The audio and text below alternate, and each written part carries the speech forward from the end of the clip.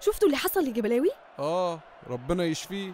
بص يا عم أهو دراسة بتقول الكورونا بتيجي لبتوع وجه بحري أكتر من بتوع قبلي آه مناعتهم قوية وتلاقي الواحد كده متربي على الأكل البلدي.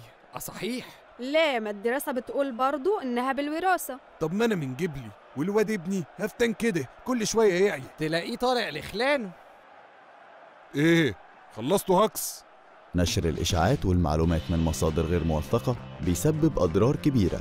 ما تنشرش خبر غير لو متأكد من مصدره 100%